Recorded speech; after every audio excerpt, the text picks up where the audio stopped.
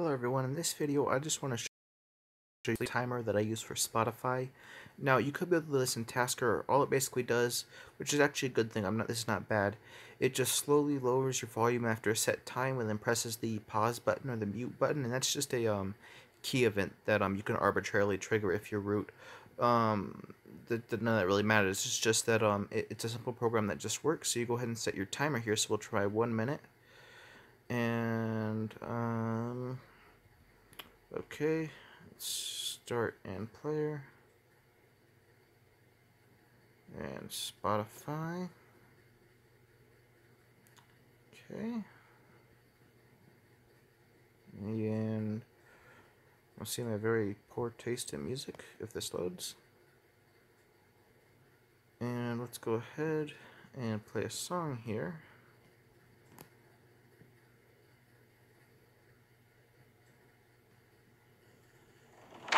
See that it just slowly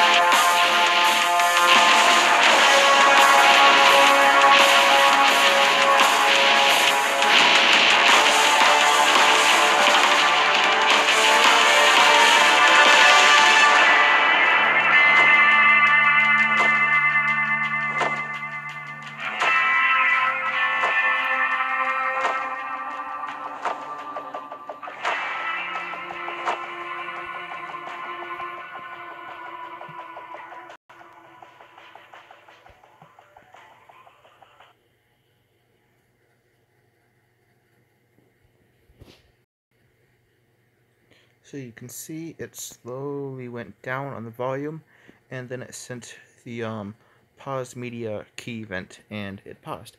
So perfect, this is how to set a sleep timer for Spotify. Thanks for watching.